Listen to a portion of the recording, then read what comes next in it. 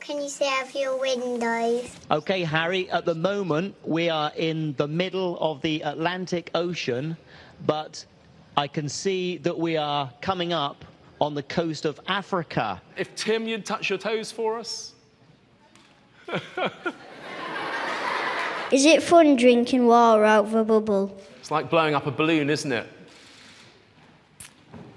And we were absolutely right. That is a sphere. You're going to try and drink that, Tim? Yeah.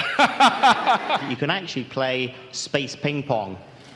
There you go. We can have games on a Saturday. So I've got my uh, fizzy tablet here, and uh, the bubble's nice and close to the camera, so I can show you. Here we go, and I'll pop it in.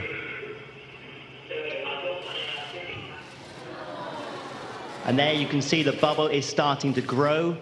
All of the gas is being released, but all it's doing is it's making that bubble of water get bigger and bigger, and you can see it fizzing up there.